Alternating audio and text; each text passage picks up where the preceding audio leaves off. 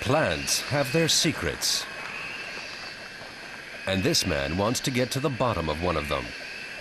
Frank Keppler is trying to prove something that no one imagined until now, that living plants emit the greenhouse gas methane.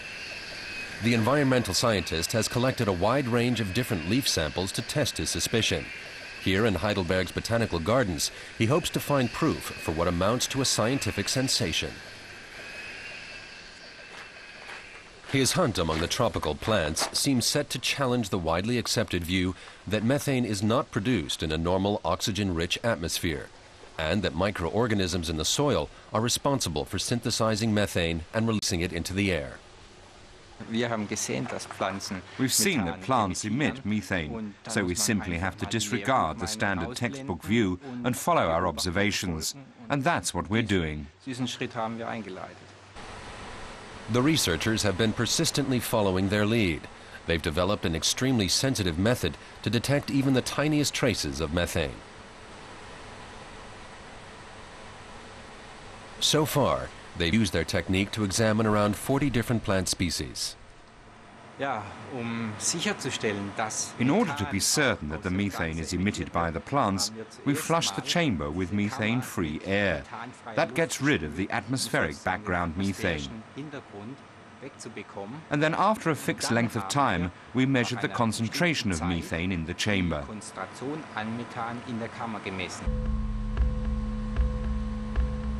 The air in the sealed plant chamber is passed through a number of filters, valves, and endless loops of thin tubing.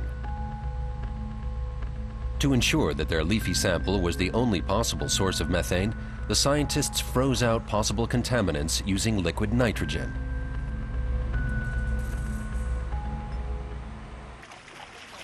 It has been known for a long time that bacteria in the soil produce methane under anaerobic or oxygen-poor conditions. This happens in flooded rice paddies and natural wetlands. And ruminant animals produce methane during digestion. In its lifetime, a single cow releases around 200,000 liters of the greenhouse gas into the atmosphere. In the laboratory in Heidelberg, the suspicion has been confirmed. Plants do indeed produce methane. This discovery has raised a number of new questions. First, we want to study the mechanism at work in collaboration with plant physiologists. We also intend to do field measurements to confirm that plants emit methane in the field.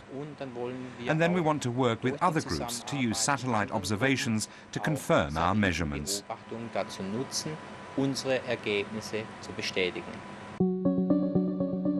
Recent analyses of satellite measurements showing how methane is distributed in the atmosphere around the globe appear to support the results.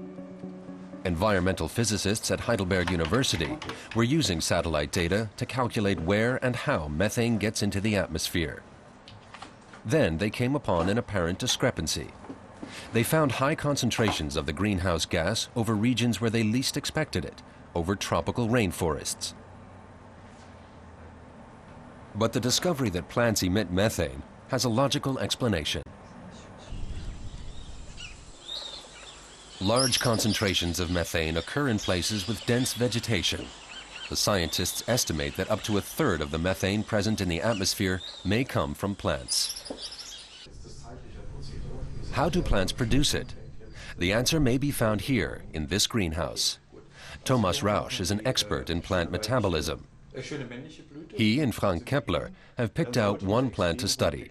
It's corn, and they're particularly interested in its pollen.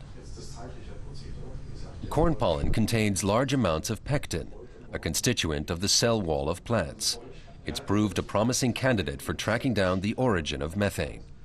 A pollen tube grows over a period of just a couple of hours. It grows in one direction and uses incredible amounts of pectin.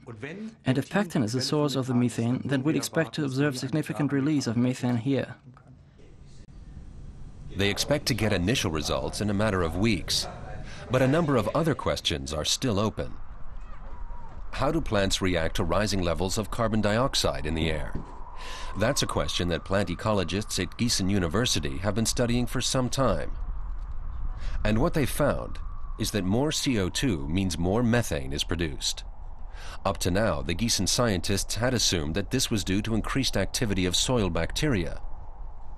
But in light of the new discoveries, it seems that meadow plants may be making more methane on their own. The researchers intend to investigate the phenomenon together with Frank Keppler. Both groups stand to benefit from the collaboration. Here in Gießen, here in Gießen, the project, led by Professor Jaeger, will enable us to detect methane production from plants in the field. If CO2 concentrations change in the future, we can simulate that here and see whether more or less methane is produced by the plants.